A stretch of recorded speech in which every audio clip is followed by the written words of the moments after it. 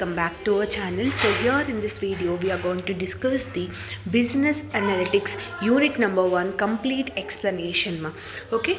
So this pdf is uh, made by me which is available in our telegram group for free of cost okay?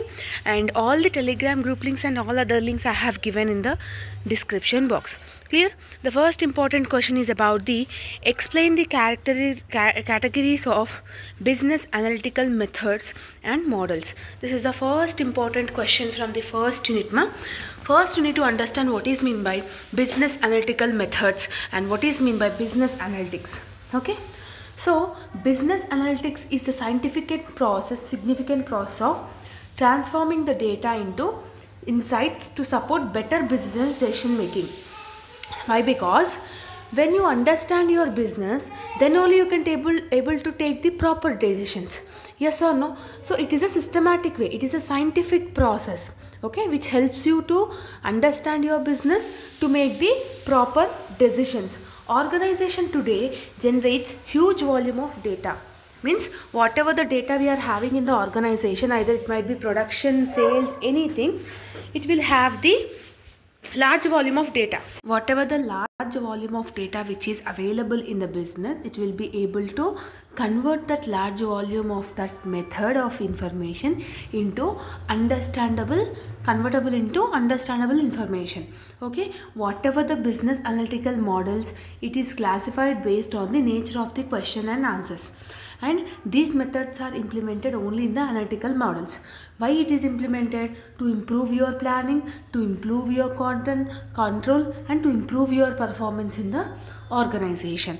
This is the introduction part must and should you need to learn ma very much introduction. This is compulsory you need to write it in the examination. Then what are the categories of different business analytical model and models okay?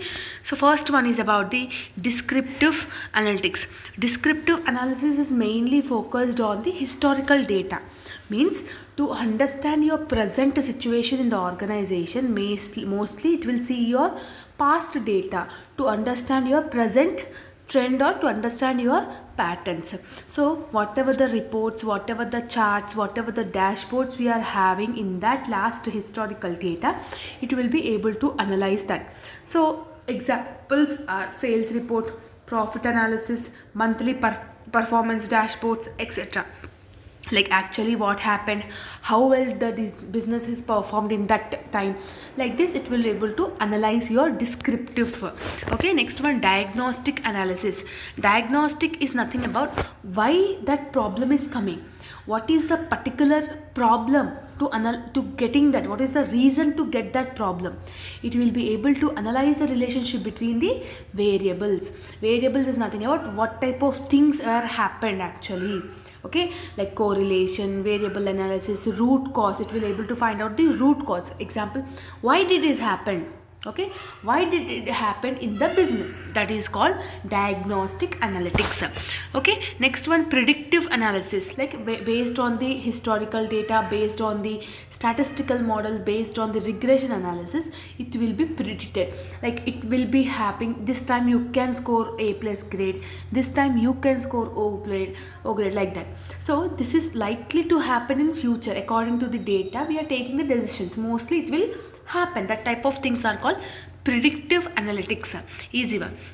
Next one and the last one is about the prescriptive analytics. Ma prescriptive analytics is nothing about what is the best possible outcome we can get from that. Okay? What should be done to get the to solve solution to this problem?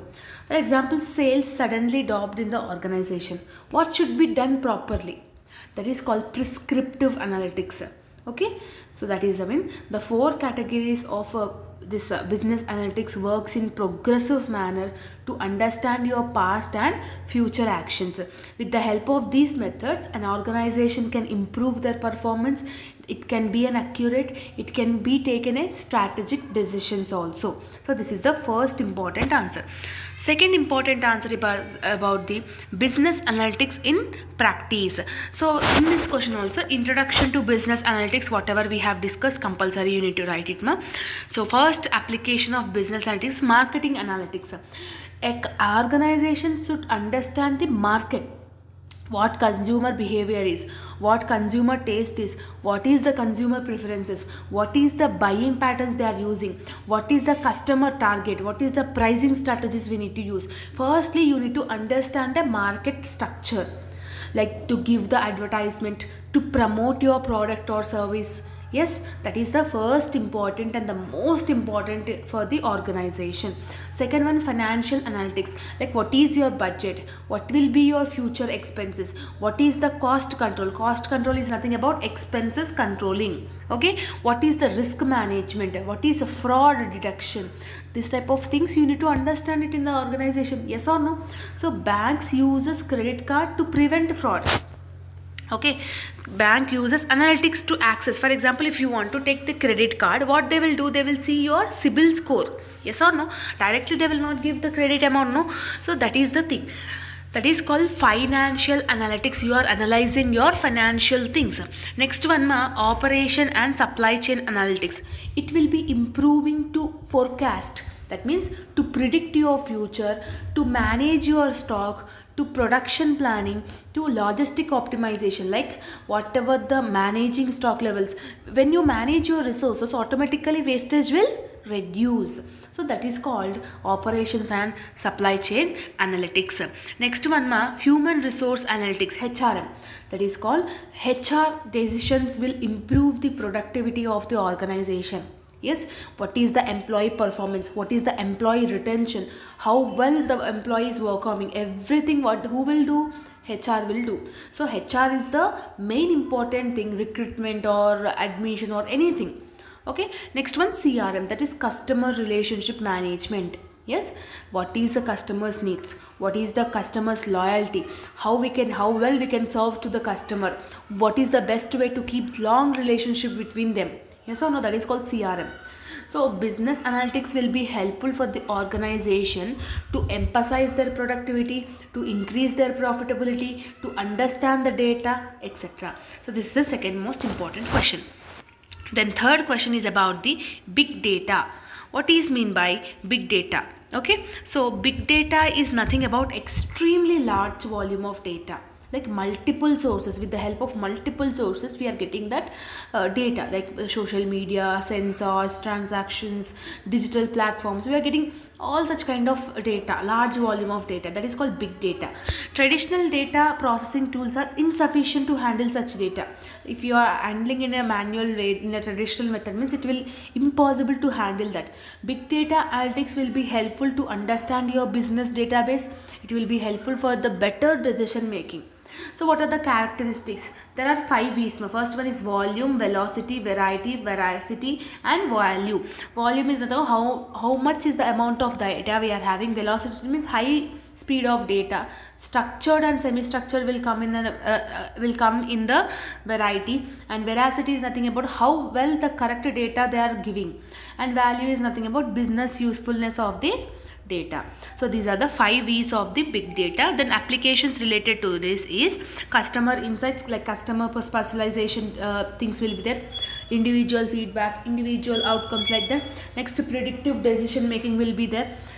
Uh, like we can able to predict the future decisions risk management and fraud management will be also able to achieve with the help of this uh, big data next operational uh, operational efficiency how well the supply chain management is working how well the cost reduction is getting reduced like this type of data. So overall big data helpful to understand the organization. It will be able to understand your future things like that okay? And the last question from unit number 4 is unit number 1 is sorry fourth question is types of data and their role in business business decision model. So data is the backbone of the business analysis okay without data we can't do any analysis. Information whatever we have got from the various sources will be helpful for the organization to increase their stability to increase their profitability to enhance their organization efficiency to improve their performance etc then what are the different types of data we are having? First one is structured data. Structured data is nothing about the uh, it can store process like for example sales record or production report ma? Customer database. What is the customer name customer place customer phone number? What are the above product they are using? That is called structured data. Then what is meant by unstructured data? Unstructured data are the fixed data okay? Like images text audio video this type of data is called unstructured data. Next one qualitative data. How much quality of data you are having? Even if you are having 1000 pages also in that the quality of data is 100 only okay? Next one quantity of data. What is the volume? What is the revenue cost? What is the profit figures we are having? Okay that is called quantitative data. Next one primary and secondary data. What data is giving in the primary what type of data is giving in the secondary like reports and database. Yes specific analysis will come in the primary. Next role of data in business modeling is it plays an important key role to improve the accuracy to improve the efficiency to improve the profitability and it will be helpful to reduce your expenses in the organization. Like high quality of data if you are getting means it will be helpful for the business or the organization to take the proper decision making. So different types of play data whatever we are having like structured uh, qualitative quantitative this type of things will be able to get a vital role in the organization in the business modeling in decision modeling. So whatever the data will be there it will be helpful to predict your organization. It will be helpful to improve your performance.